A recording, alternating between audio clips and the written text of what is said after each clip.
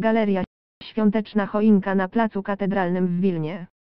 W stolicy Litwy, Wilnie, z okazji Świąt Bożego Narodzenia stanęła majestatyczna choinka.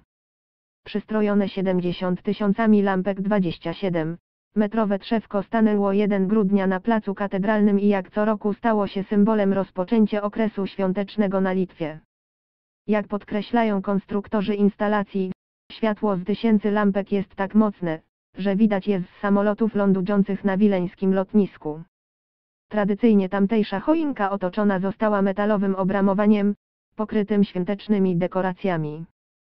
Lampki oraz świerkowe gałęzie pokrywają obszar około 2,500 metrów kwadratowych.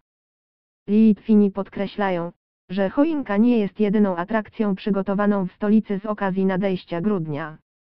Otaczający ją tradycyjny jarmark bożonarodzeniowy oferuje mieszkańcom miasta i turystom ręcznie robione prezenty, wigilijne potrawy oraz całą masę okresowych pamiątek. Zawieszone na gigantycznej choince lampki co jakiś czas zaczynają migotać, aby stworzyć trójwymiarową iluminację na podobieństwo tej wyświetlanej w warszawskim parku fontan. W okresie zimowym po Wileńskim Centrum jeździ też specjalna świąteczna kolejka, którą operują elfy.